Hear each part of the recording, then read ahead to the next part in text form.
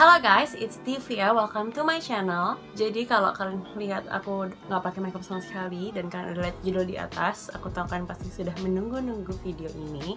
Jadi paket aku udah sampai. Kalau kalian ikutin aku di Instagram, kalian pasti tahu aku tuh bilang aku pesen paket yang express yang cuma nyampe dalam sehari biar aku bisa langsung syuting videonya, langsung aku edit terus langsung aku upload. Oke, jadi ini isinya. Jadi ini hmm, ini koleksi terbaru dari Wardah, Wardah Insta Perfect gitu. Jadi mereka kemarin itu tanggal 1 Agustus baru launching cushion, uh, blush stick, sama lip cream. Nah cushionnya itu terdiri dari 4 shades. Aku cuma beli yang satu, aku beli yang warnanya paling gelap. Terus aku beli dua stick apa blush sticknya karena emang tersedia dalam dua warna. Jadi aku beli dua-duanya biar kalian bisa lihat. Sama mereka ngeluarin 5 lip cream. Aku beli 5-5-nya juga semuanya. Jadi yang cuma aku beli satu warna tuh cushion coachingnya aja karena kayaknya kalau aku beli semuanya nggak necessary ya nggak perlu juga jadi ini kayak koleksi terbaru mereka gitu kayak makeup untuk yang lebih pro I guess kayak sama halnya mungkin mineral buta botanica Mineral Botanica ngeluarin Mineral Botanica Studio Series dan mereka ngeluarin Insta Perfect. Semuanya tuh kayak rose gold. Oke ini mantul banget ya oh, itu kamar ini penampilan kamarku sama lampu Vanatico ini tuh kayak cantik banget. Memang packagingnya tuh kesannya mahal mewah gitu ya. Semuanya warnanya rose gold. Dan ini sebenarnya sedikit mengingatkan aku sama brand luar. Kita sebut saja satunya brand dari penyanyi eksotis dan satunya lagi si cantik yang pantatnya besar. Kayaknya sih nggak perlu aku sebutin nama brandnya kalian udah tahu ya apa ya yang warna-warnanya rose gold rose gold kayak earthy tones gitu. Terus ini blush sticknya ini juga ternyata ukurannya lumayan besar menurut aku. Warnanya juga yang kayak earthy tones gitu. Dan ini lip creamnya jadi ada lima warna. Ini juga kayak yang mantep gitu loh packagingnya tuh berat gitu. Terus ini tuh warnanya rose gold capnya. Terus bawahnya bening yang dove gitu plastik kesannya tuh kayak mewah mahal gitu. Cantik sih. Mereka kayaknya udah mikir matang-matang banget buat bikin packagingnya karena this is looks like luxury banget. Nah ini kotaknya sendiri tuh hologram guys. Lihat can you guys see that? Ini gemes banget. Oke, okay, karena kayaknya video ini akan sedikit panjang karena banyak produk yang bakal dicoba. Jadi kalian relax aja, ambil minum atau snack, terus sambil nonton video dan dan sama aku. Oke, yang pertama aku mau bahas si cushionnya dulu ya. Pokoknya tadi aku udah nunjukin bahwa ini packagingnya cantik banget, looks luxury. Kacanya juga mantap, besar gitu, and this is the sponge. Sponge-nya rasanya kayak sponge cushion seperti umumnya. Nah, jadi cushionnya ini tersedia dalam dalam dalam empat warna. Ini tuh yang paling gelap. Ini namanya cream 14 cream. Ada yang beige, ivory sama fair kalau nggak salah. Nah, pertama-tama aku mau bacain dulu klaim yang ada di kotak cushionnya. Mineralite Made BB Cushion dengan Smart High Coverage Technology serta Mineralite Fix Bahan mineral natural yang menjaga kulit tetap terhidrasi dari dalam dan memberikan cooling sensation di kulit aktif sekalipun. Kini wajah tampak perfect radiant. Jadi uh, dia ini klaimnya high coverage, terus bakal ada sensasi-sensasi dingin yang dicis biasanya itu terjadi karena di dalamnya berarti ada kandungan alkoholnya ya biasanya. Aware untuk kalian yang kulitnya sensitif, sama finishnya matte. Sama ini udah mengandung SPF 29 PA+++, plusnya 3 kalau kalian bisa lihat di sekitar sini tuh aku kayak lagi ada bekas jerawat gitu di agak jidat sini sama di sini. Jadi kita lihat aja kalau emang dia bisa nutupin berarti emang coveragenya bagus. Sama bawah mataku juga lagi cukup gelap karena aku kurang tidur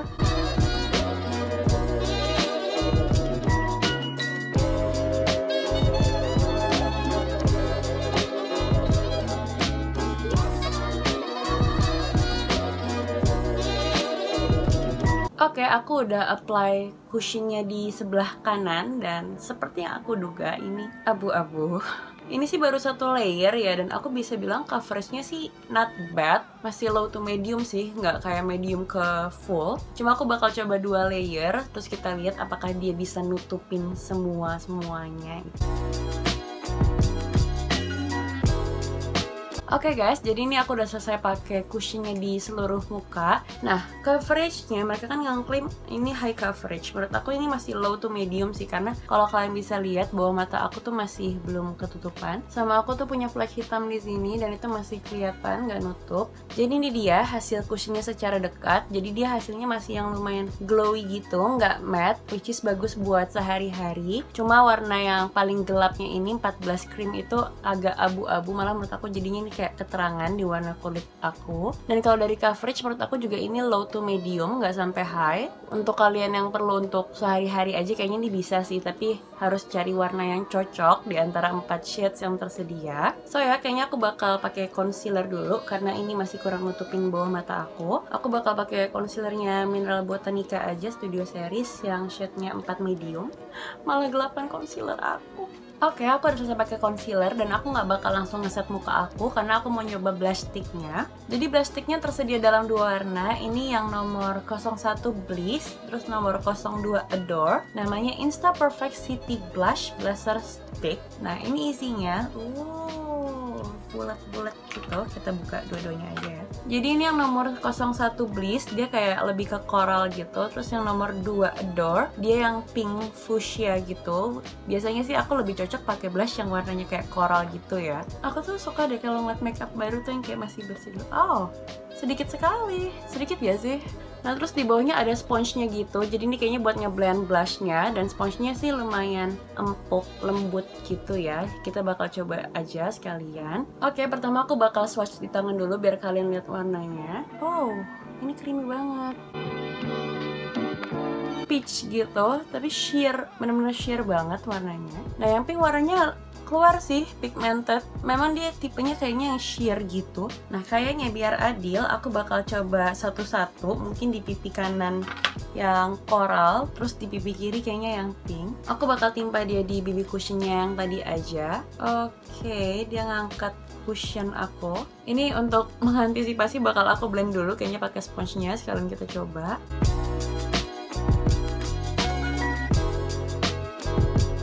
Oke, okay, sponsnya cukup lembut, enak. Ini udah aku blend dan aku hampir nggak melihat warna blushnya yang ada malah jadinya sekarang cushion aku kayak agak patchy gitu karena tadi keangkat sama blush onnya ini. Jadi kayaknya aku bakal coba apply di telapak tangan dulu, terus bakal aku ambil pakai sponsnya dan taruh di pipi. Oke, ini hasilnya. Aku udah pakai beberapa kali dan jujur aku hampir nggak melihat warna ya.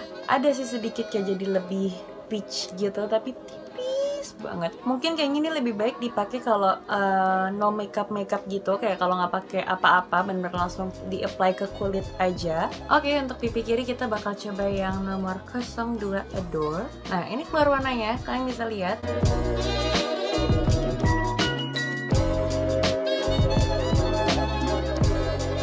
Memang masih sedikit angkat BB cushionnya tapi kayak jauh lebih enak aja dibandingkan yang coral aku juga kayaknya bakal apply di telapak tangan dulu biar untuk mengantisipasi aja biar cushion aku nggak hilang.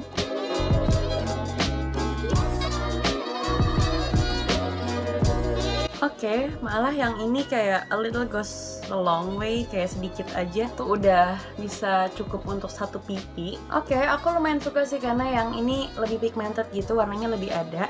Oke, okay, jadi ini hasil blush onnya, ini yang 01 Bliss ini yang 02 Adore. Kalian bisa lihat kalau yang Adore tuh warnanya lebih keluar dan emang kayak pink fuchsia gitu. Yang satunya ini hampir nggak kelihatan sama sekali warnanya coral muda banget. Oke jadi aku udah selesai pakai blushnya dan ini hasil akhirnya. Warnanya tuh kayak pink fuchsia tapi hasilnya natural gitu, pigmented. Dan aku udah pakai BB cushionnya ini kayaknya sekitar 5 menit lebih. Harusnya sih udah cukup ngeset ya, nggak oksidasi. Cuma menurut aku dia akhirnya nggak jadi matte juga. Kalian juga bisa lihat itu masih kayak glowing gitu. Nah untuk mengantisipasi ini aku udah bawa bedak aku yang warnanya cukup gelap. Jadi kayaknya aku bakal ngeset dia pakai Emina Mineral Loose Powder yang 04 Ebony. Jadi aku bakal nyelesain makeup aku dulu Terus abis itu kita bakal ke swatches lipsticknya Oke okay guys, aku udah selesai dandan Dan tadi niatnya sih natural Ujung-ujungnya jadi bikin cut crease kayak gini. Nah sekarang kita langsung move on aja ke swatches lip creamnya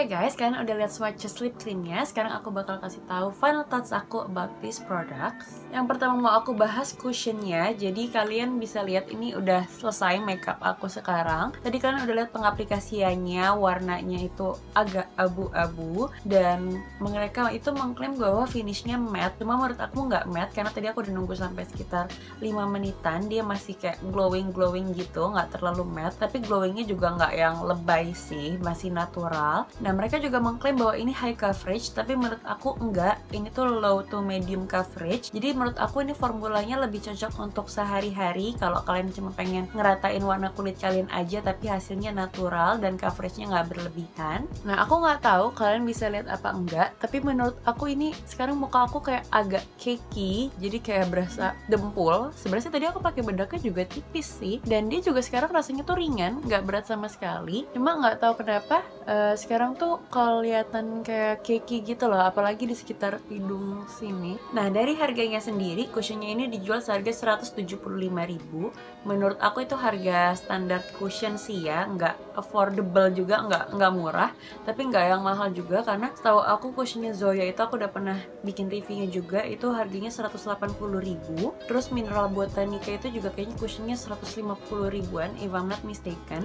Nah selanjutnya yang mau aku bahas adalah blush sticknya mereka kan tersedia dalam dua warna. Nah tadi yang nomor satu bliss itu menurut aku hampir nggak keluar sama sekali warnanya. Jadi dia emang coral yang uh, nude banget tapi sayang warnanya kayak kurang keluar. Mungkin aku bakal coba nanti biar uh, fair gitu loh. Aku nggak sekedar nyoba di atas foundation aku bakal nyoba di bare skin. Cuma kayaknya aku bakal coba di Instagram story aja. Jadi buat kalian kalian follow Instagram aku aja kalau mau tahu update lebih lanjut. Nah terus yang nomor 2 adore itu warnanya tadi pop. Kalian bisa lihat itu warnanya lebih pigmented daripada yang ini. Sedangkan dari tekstur sih menurut aku sama-sama lembut banget kayak mentega bener-bener halus banget gitu. Di blend itu dia warnanya agak memudar memudar memudar gitu jadi biarpun warnanya bold menurut aku masih bisa banget dipakai di warna kulit sawo matang. Nah satu hal yang aku paling suka dari plastik ini adalah uh, sponge-nya. Malah aku suka banget sama sponge-nya karena sponge-nya tuh kayak lembut banget gitu kayak soft puffy. Nah harga si plastik ini satunya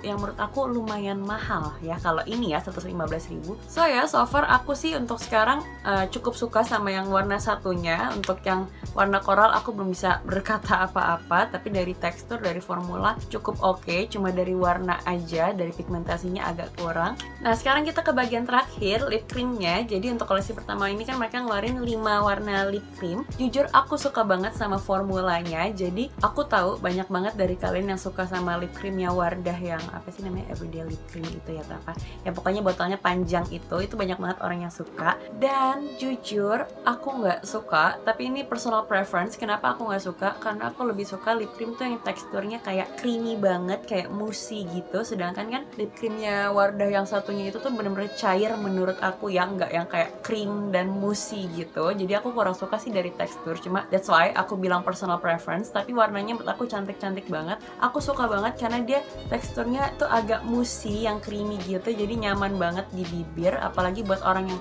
bibirnya kering tuh pakai ini cocok banget menurut aku. Nah dia juga agak sedikit transfer aku bakal coba ya. Kalian bisa lihat dia sedikit transfer dan aku memang lebih prefer sama lip cream yang kayak gini. Maksudnya aku lebih mementingkan mementingkan aku lebih mementingkan kenyamanan di bibir dibandingkan lipstick yang matte banget emang cantik tapi di bibir tuh nyakitin kayak terlalu kering gitu. Nah tapi satu yang mau aku komentar adalah pilihan warnanya. Jadi memang mereka baru ngeluarin 5 warna. Nah setahu aku itu kan Wardah suka nambah warna-warna baru. Jadi juga nanti aku pasti yakin mereka bakal nambah warna baru dan aku berharap banget karena aku suka banget sama formulanya. Nah, di antara lima warna baru ini menurut aku cukup unik karena tiga di antaranya itu tuh lumayan bold. Nah, dari pigmentasi warnanya menurut aku pigmentasi warnanya agak beda-beda. Jadi yang nomor 3 cheek yang coklat itu, terus nomor 4 vibe. Nah, dua-duanya ini pigmentasi warnanya bagus banget kayak cuma sekali swipe tuh udah nutup. Yang sekarang lagi aku pakai itu yang nomor 2 dear, cuma aku kayak pakai di tengah bibir aja tipis karena eyeshadow aku udah serem banget gitu jadi ya dari segi formula aku suka banget sama lip creamnya ini enak banget teksturnya mushy nyaman. Bahkan tadi aku udah nge-swatch semuanya 5-5 nya bibir aku masih rasanya oke okay banget. Nah harga satuan lip creamnya ini 89.000 kita buletin aja gitu kayak 90 ribu gitu ya. Menurut aku masih cukup affordable apalagi dengan packaging yang kesannya mewah mahal gini. Kalau nggak salah lip creamnya Wardah yang biasa itu harganya 60 ribu if I'm not mistaken. Correct me if I'm wrong aku lupa juga. Jadi harganya nggak jauh beda. So ya jadi ini koleksi terbaru dari Wardah Insta Perfect menurut aku jadi aku cukup suka I cannot say that I really liked it. Nah untuk ketahanan si cushionnya sama lip creamnya kayaknya nanti aku bakal update di description box aja nggak bakal aku record. Jadi jangan lupa untuk cek description box. So ya yeah, thank you guys for watching. Semoga video ini berguna untuk kalian. So if you like this video please give me a thumbs up. Kalau kalian nggak mau kelewatan video selanjutnya dari aku silahkan klik subscribe